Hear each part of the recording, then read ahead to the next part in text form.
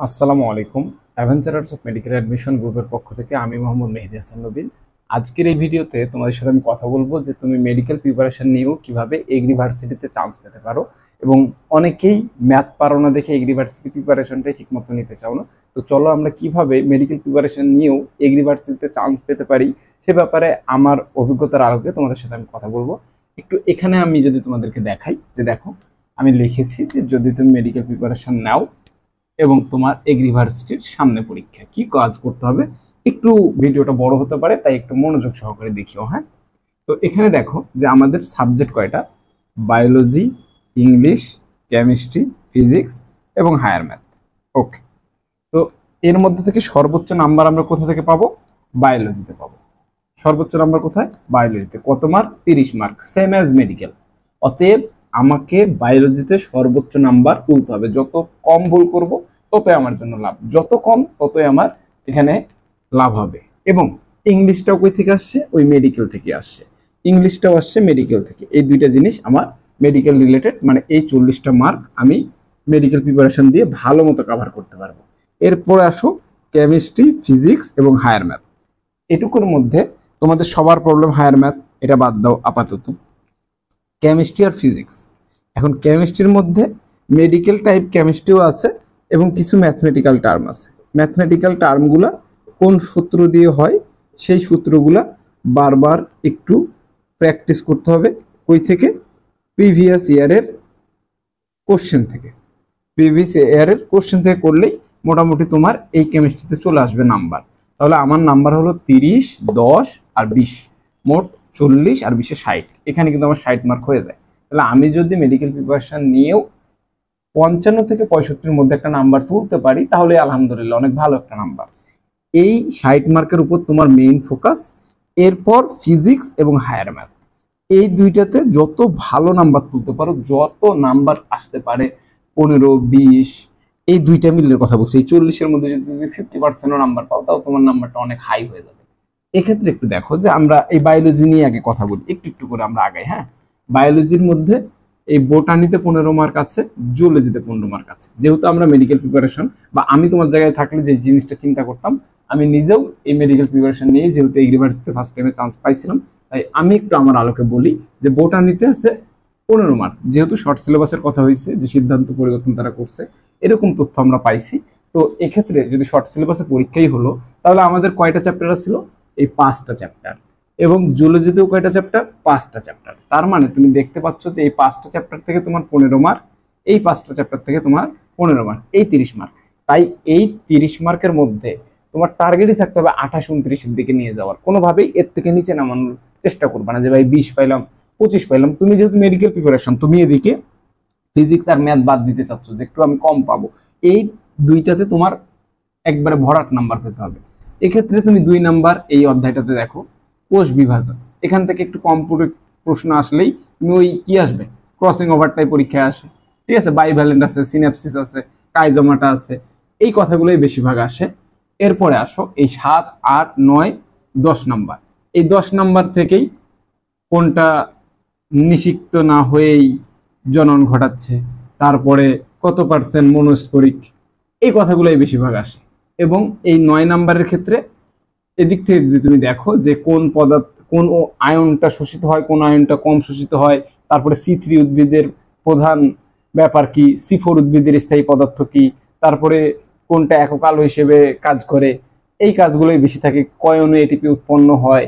তারপরে আট নাম্বার চ্যাপ্টারে আসো, আট নাম্বার চ্যাপ্টারের ক্ষেত্রে আমরা দেখি যে টিস্যু টিস্যু নিয়ে কথা। তাহলে কোনটার ক্ষেত্রে মুক্ত, কোনটার ক্ষেত্রে অরিও কোনটার ক্ষেত্রে কেন্দ্রিক এই কথাটাই বেশিরভাগ আসে। আর এটার মধ্যে তুমি জবা, মালভেসি, পোয়েসি এই কথাগুলো বেশি পড়বা বা অ্যাস্টিভেশন থেকে প্রশ্ন আসতে পারে। এগুলো তুমি কীভাবে বুঝতে পারবা? এগুলো তুমি বিগত বছরের প্রশ্ন দেখবা।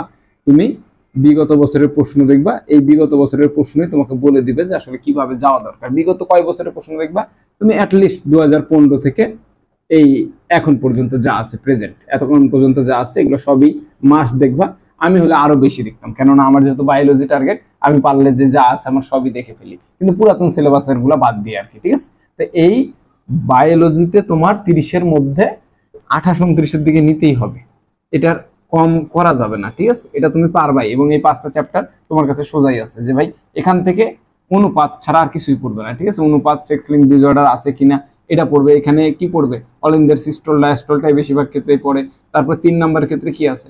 অ্যানজাইমের কার্যক্রিয়া, এইগুলো নিয়ে কথা বলব। যে সর্ববৃহৎ গ্রন্থি কোনটা, অঙ্গ কোনটা, তারপরে অগ্নাশয় অগ্নাশয় থেকে কোন রস খরিত হয়, এই বিটা বিটা থেকে কি খরিত হয়, তারপর গ্লুকাগন কোথা থেকে খরিত হয়, এই কথাগুলো বেশি পড়বে আর এটার ক্ষেত্রে তোমার, এই যে হাইড্রার ক্ষেত্রে তোমার হাইড্রার ক্ষেত্রে নেমাটোসিস্ট অংশটা খুব বেশি দরকার। তারপরে তুমি ঘাস ফড়িং এর ক্ষেত্রে যদি যাও, তাহলে প্রতিসরণশীল অঙ্গ হিসেবে কোনটা কাজ করে? এই কথাগুলো পড়বে, খাদ্য কতক্ষণ জমা থাকে, এই কথাগুলো পড়বে। আবার এটার ক্ষেত্রে যদি যাও, তাহলে দ্বিস্তরী প্রাণী কোনটা, এই কথাটা পড়ে। তারপরে তোমার এদিক থেকে পড়তে পারে যে সর্ববৃহত্তম পর্বের নাম কোনটা। তারপরে ওই দিক থেকে পড়তে পারে যে রুই মাছের আইস কেমন বা কোনটাকে সাগরের ফোয়ারা বলা হয়।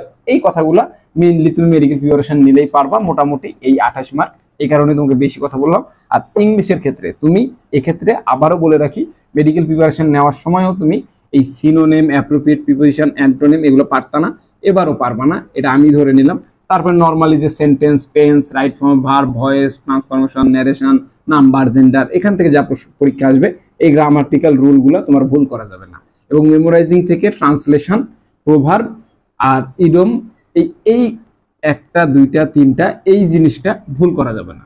ভুল করবা কোনটা? অ্যাপ্রোপ্রিয়েট প্রিপোজিশন সিনোনেম অ্যান্টোনেম তুমি আন্দাজে দাগাবো না। তুমি জানবাই যে ভাই আমার এখানে দশে আটের দিকে আমাকে ঝুঁকতে হবে।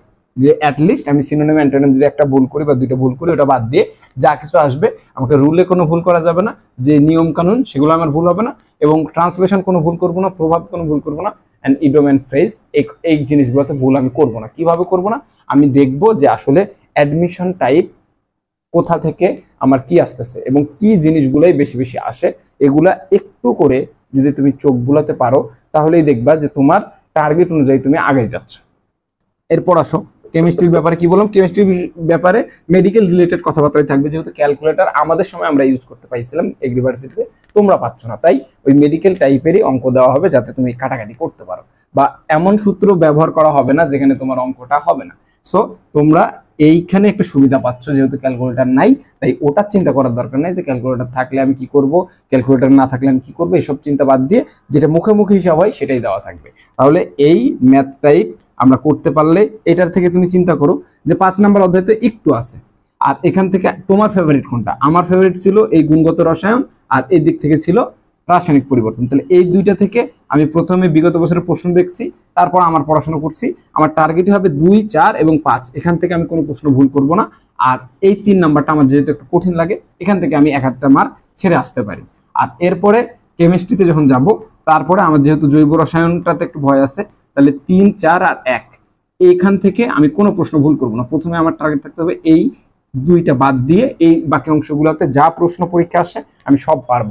এরপর আমি একটা ঠান্ডা মাথায় বলব, ওকে ফাইন তাহলে আমার যে সমস্যা ফার্স্ট পেপারের এক অধ্যায় মানে যে অধ্যায়টা এবং সেকেন্ড পেপারের জৈব রসায়নে কি কি প্রশ্ন আসছে, আমি যদি কিছুই না পারি বা আমার যদি এখন জৈব রসায়ন পড়তে যে অনেক বেশি ঝামেলার মধ্যে পড়ো, তাহলে তুমি জাস্ট বিগত বছরের প্রশ্ন পড়বা এবং বিগত বছরের প্রশ্ন থেকে কমন পড়ার হার অনেক বেশি পরিমাণ এই কৃষি ভার্সিটিগুলোতে আচ্ছা এরপর আসো ফিজিক্স ফিজিক্সের ক্ষেত্রে দেখো যে তুমি ফিজিক্সের ক্ষেত্রে ফার্স্ট পেপারে কি আছে? ভেক্টর আছে।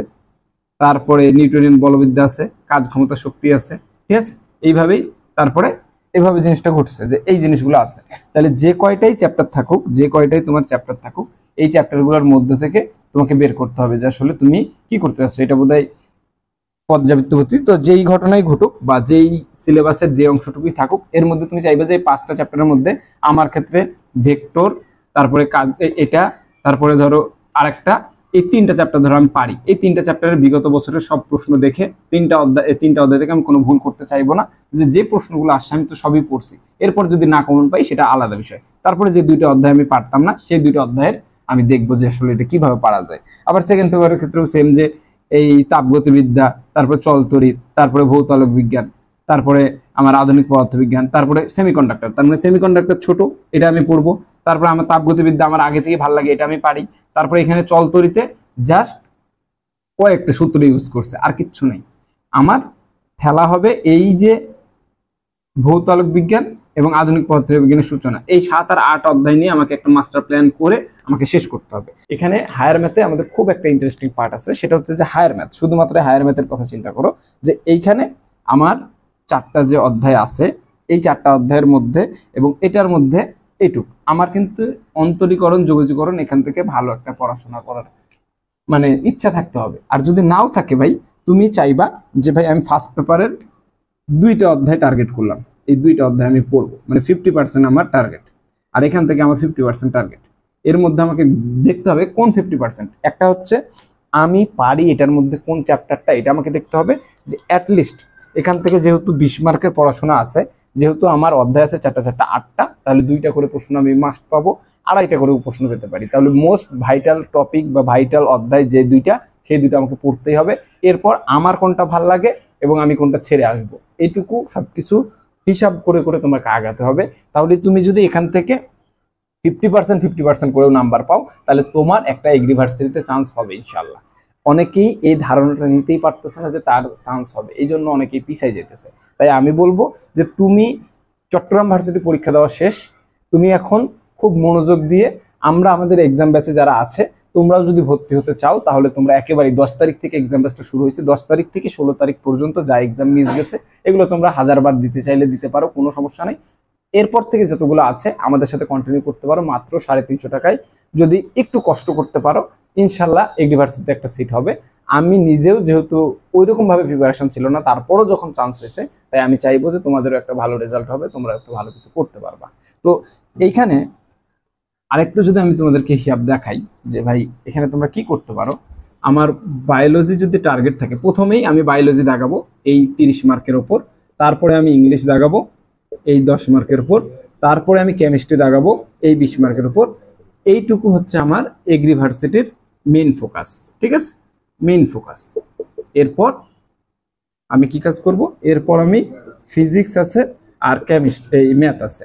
তাহলে আমি তারপরে ফিজিক্স দেখাবো, তারপরে আমি ম্যাথ দেখাবো।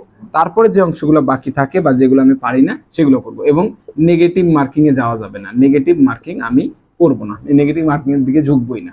যেহেতু আমার টার্গেটই এইভাবে, সেহেতু আমি এক নাম্বার করে বিগত বছরের প্রশ্নগুলো মাস্ট বিগত বছরের প্রশ্ন তারপরে জাস্ট আমার বইয়ের যে দাগানো লাইন রয়েছে, সেই লাইনগুলো আমি পড়ব এবং দেখব যে কমন পাচ্ছে কিনা। তারপরে আমরা যেভাবে আমাদের গাইডলাইনটা দিব, সেই গাইডলাইনটা ফলো করলে ইনশাল্লাহ ভালো কিছুই হবে। তো তোমরা যারা ভর্তি হতে চাও, তাদেরকে আমি নাম্বারটা লিখে দিচ্ছি যাতে তোমরা এটা তোমার বিকাশ, নগদ, রকেট সবই আছে। এখানে তোমরা সেন্ড মানি করবে। কত টাকা? তিনশো পঞ্চাশ টাকা। যদি ভর্তি হতে চাও তাহলে এটা করতে পারো। আর না চাইলে নিজের মতো করে যদি পড়তে চাও, তাও তুমি এই সিস্টেম ওয়াইজ পড়তে পারো। ইনশাল্লাহ ভালো কিছু হবে। দেখা হবে নেক্সট কোনো ভিডিওতে। যদি তোমার আরও কোনো কিছু জানার থাকে, তাহলে সেগুলো কমেন্ট করে দিতে পারো। সেগুলো নিয়ে আমি আলাদা করে আবারও ভিডিও বানাবো। আজকের মতো এখানেই শেষ করছি। আসসালামু আলাইকুম।